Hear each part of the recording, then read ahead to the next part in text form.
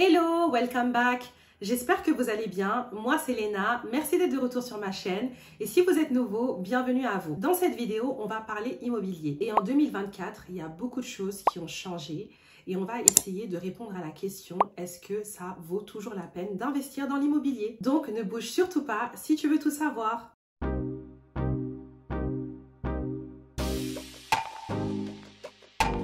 J'ai beaucoup parlé d'immobilier euh, depuis la création de cette chaîne, tout simplement parce que je partageais avec vous mon expérience avec l'immobilier. Ça a été mon premier investissement lucratif qui m'a permis de générer d'autres revenus en dehors de mon salaire. Et donc, ça a été vraiment une découverte pour moi et c'était important que je partage avec vous en toute transparence ce que ça m'a apporté. Et à dire vrai, l'immobilier, ça a vraiment été un game changer pour moi qui m'a permis d'être beaucoup plus sereine financièrement parce que j'avais d'autres sources de revenus tout simplement grâce à l'immobilier. Je ne dirais pas que ça m'a permis d'atteindre la liberté financière parce qu'on travaille toujours à atteindre cette liberté financière. Par contre, ça a vraiment changé beaucoup de choses pour moi. Ça m'a permis d'avoir une assise beaucoup plus safe en ce qui concerne la gestion de mes finances parce que ça m'a permis de créer euh, d'autres sources de revenus tout simplement. Et finalement, je vais plus faire un focus sur l'investissement en Europe, mais cette vidéo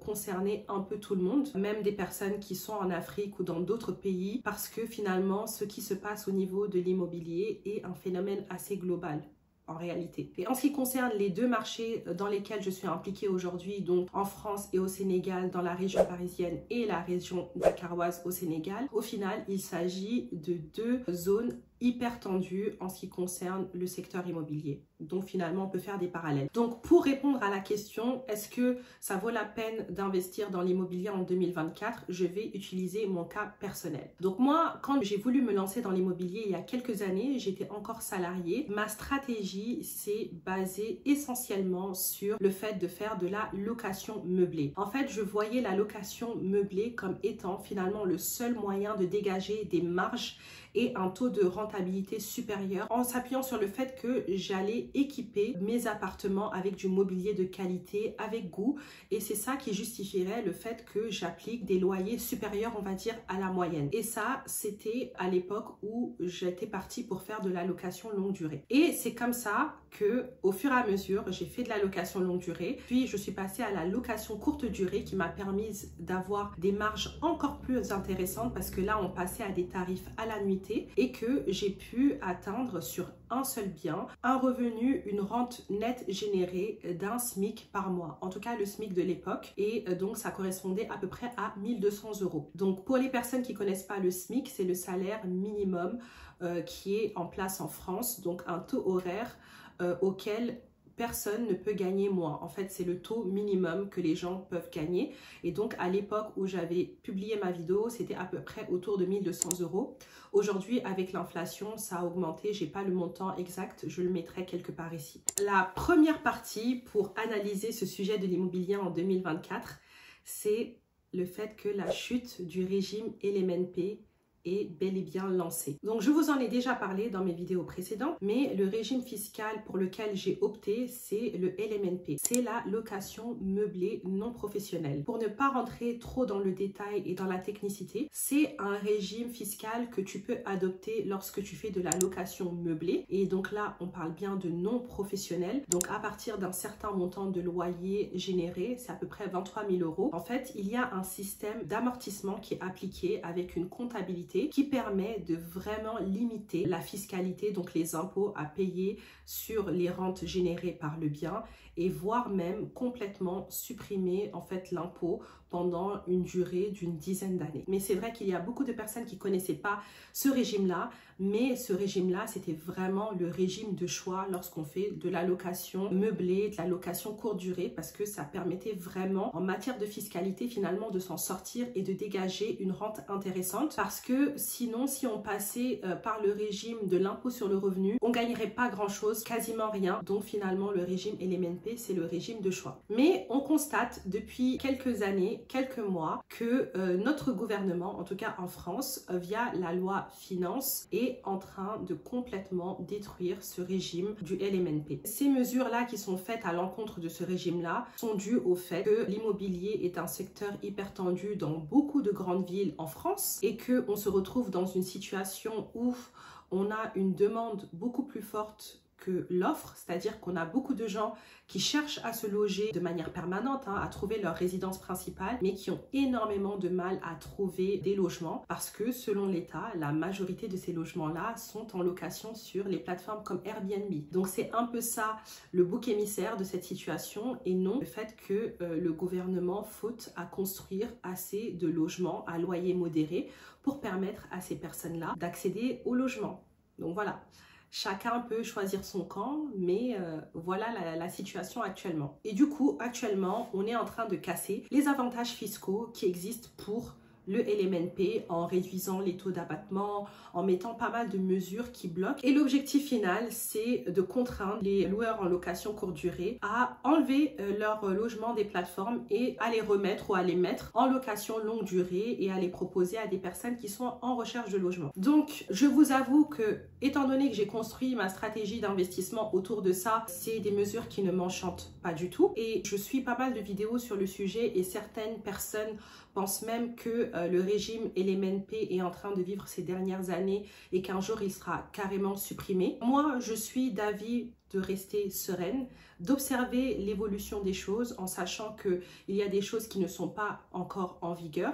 Donc on va observer comment les choses vont évoluer, comment ça va se traduire sur la société, sur comment on fonctionne et voir si ça va être maintenu. Pour le moment, en tout cas sur les biens que je gère, je garde le cap et je continue à les gérer en LMNP. Et selon comment les choses vont évoluer, j'aviserai. Donc pour des personnes qui souhaiteraient se lancer en LMNP, je les encourage toujours à se renseigner en tenant compte des nouvelles mesures qui vont être mises en place dans les années à venir. Mais ça peut, je pense, tant qu'on n'a pas dit que ce régime-là va être retiré, parce que c'est un régime qui fonctionne bien, continuer à se renseigner, mais prendre le temps de réfléchir à si vous souhaitez vous lancer ou pas. Parce que c'était l'une des niches qui était encore intéressante dans l'investissement immobilier. Donc voilà sur la première partie euh, du LMNP. La deuxième partie, c'est parler des taux d'intérêt. Donc vous l'avez tous vu et c'est vraiment le cas à travers le monde, que ce soit en France, aux États-Unis et un peu partout. On a vu ces dernières années, surtout entre fin 2022, début 2023, les taux d'intérêt littéralement exploser. Et donc aux dernières nouvelles, le taux d'intérêt moyen, toute durée confondue pour les prêts immobiliers, selon l'Observatoire Crédit Logement, se situe à peu près à 4,15%. Ce qui est énorme si on prend en compte les taux d'il y a quelques années, hein, fin 2020, début 2021 jusqu'à début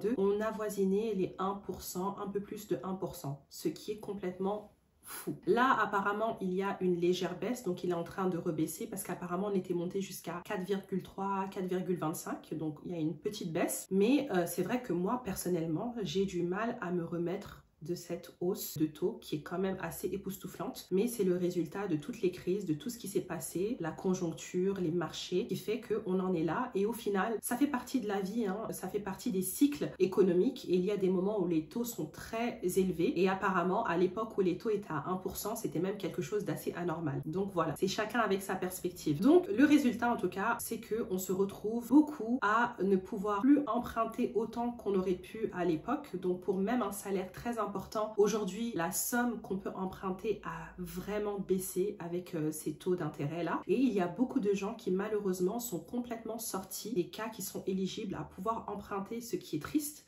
Et ça s'est forcément impacté sur le marché de l'immobilier.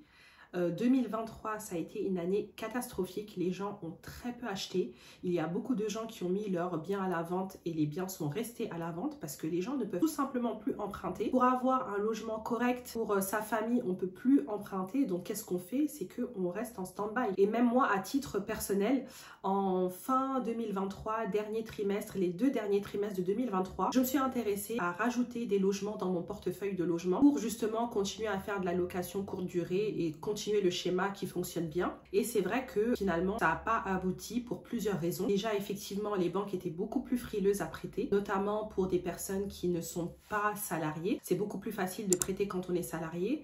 Et même au-delà de ça, entre les taux et les prix euh, des biens en vente qui n'ont pas assez baissé par rapport au taux qui a augmenté, en fait, c'est pas toujours intéressant. Il y a toujours des opérations qui peuvent être intéressantes, hein, attention, surtout quand il y a des travaux. Donc, il faut continuer à regarder, il ne faut pas se décourager. Il faut, euh, voilà, euh, il faut surfer sur la vague, même si c'est une vague montante. Hein.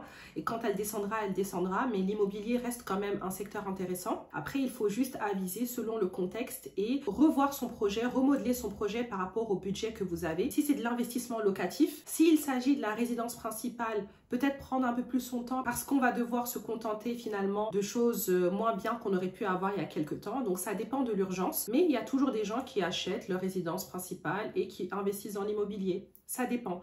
Moi, en ce qui me concerne, lorsque j'ai eu ces expériences un peu décevantes en fin 2023, j'ai décidé de mettre un peu plus le cap sur l'Afrique parce que c'est ça l'avantage d'être sur plusieurs secteurs et de voir ce qui se fait en Afrique et quelles sont les possibilités. Parce que le but, c'est pas de rester euh, non plus immobile. Je continue à surveiller en France, c'est un secteur qui m'intéresse, mais je regarde également en Afrique. Et donc, comme je disais, aujourd'hui, en ce qui concerne les prix, donc ça, c'est ma troisième et dernière partie, les prix des biens, en tout cas en France, je trouve qu'ils sont toujours un peu élevés par rapport au taux. Donc il faudrait qu'on retrouve quand même un équilibre. Donc moi, je suis en train d'observer. On n'est pas à l'abri d'opérations qui peuvent être intéressantes, des personnes qui veulent vendre en toute urgence et qui vont baisser leur prix. Donc c'est toujours une opportunité. Et au final, quand on fait de l'investissement locatif, même si le taux est important, on a toujours la possibilité d'amortir ça sur le prix des locations. Voilà, surtout quand on fait de la location courte durée. Donc je dirais que le secteur de l'immobilier en 2024 n'est pas totalement fini. Il faut s'adapter, il faut revoir ses stratégies, prendre le temps, peut-être être un peu plus minutieux. Il y avait peut-être des affaires à la louche. Maintenant, il y en a un peu moins, mais il y en a toujours. Donc pour conclure, je dirais que l'immobilier en 2024 n'est pas mort. Il est devenu un peu plus corsé, plus difficile. Donc, il faut redoubler d'efforts, il faut avoir des dossiers beaucoup plus béton, mais on peut toujours euh, voilà, avoir euh, des belles affaires, dégager des revenus et avoir des nouvelles sources de revenus grâce à l'immobilier. Par contre, je vais mettre une nuance. En 2020 ou en 2021, si vous cherchiez à investir pour la première fois, je vous aurais dit de foncer dans l'immobilier parce qu'à l'époque, les crédits étaient intéressants, les banques étaient plus souples, donc sans avoir énormément d'économies, vous pouviez obtenir des crédits financés à 110% ou avec un apport très minime. Alors qu'aujourd'hui, c'est un peu plus délicat. Ça arrive toujours, mais c'est pour des gens quelquefois qui sont un peu plus expérimentés, qui ont déjà des biens. Donc pour les primo-accédants, si vous hésitez entre l'immobilier et un side business, je pourrais peut-être vous conseiller de commencer par un side business qui va vous permettre d'avoir un peu plus d'épargne, d'épargner un peu plus pour pouvoir vous lancer dans l'immobilier. C'est ça la nuance que j'aurais aujourd'hui par rapport au secteur de, l'immobilier qui s'est quand même durci et les taux qui ont augmenté. Donc voilà mon grain de sel sur le sujet. J'espère que ça vous aura éclairé en tout cas sur euh, l'immobilier et en tout cas moi en ce qui concerne ma stratégie. Mais il y a énormément de modes d'investissement. Hein. Il y a les investissements patrimoniaux via les SCI où on ne cherche pas vraiment à avoir des revenus complémentaires mais plutôt à se créer un patrimoine. On a les immeubles de rapport où on peut toujours faire des affaires intéressantes, mais ça demande vraiment d'avoir la force de faire des travaux, de retaper des immeubles et que vous mettez en location. Mais si vous avez l'énergie, c'est une niche dans laquelle vous pouvez toujours faire de belles affaires. Et il y a la stratégie que j'ai fait de la location meublée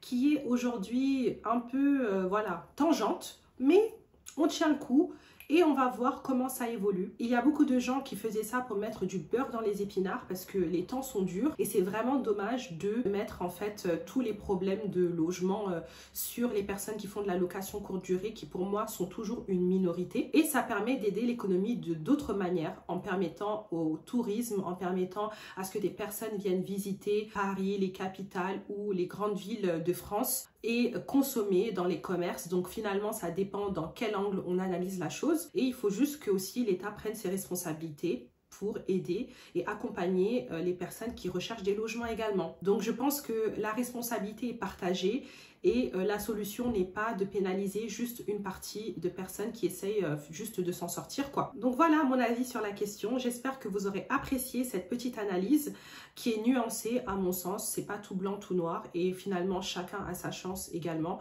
Vous avez des gens qui font toujours des superbes affaires dans l'immobilier donc il ne faut pas lâcher si ça vous intéresse. Donc voilà, je vais conclure ici. J'espère que cette vidéo vous aura plu. Si tel est le cas, n'hésitez pas à vous abonner si ce n'est pas encore déjà fait, à liker la vidéo, mettez-moi des likes, mettez-moi, parce que je trouve qu'il y a vraiment peu de likes par rapport aux vues. Donnez du love, c'est gratuit. Euh, n'hésitez pas à commenter, activer la cloche des notifications et à venir me retrouver sur Instagram où j'essaye de partager au quotidien et j'échange également avec vous de manière très très spontanée et d'aller euh, faire un tour sur mon podcast Les Réflexions de Léna et d'aller sur mon site internet parce que j'ai justement une masterclass pour faire de l'immobilier locatif rentable. Donc c'est une masterclass gratuite qui est préenregistrée.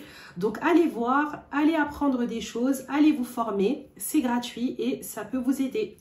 Donc je vous dis à très bientôt pour une prochaine vidéo. Cheers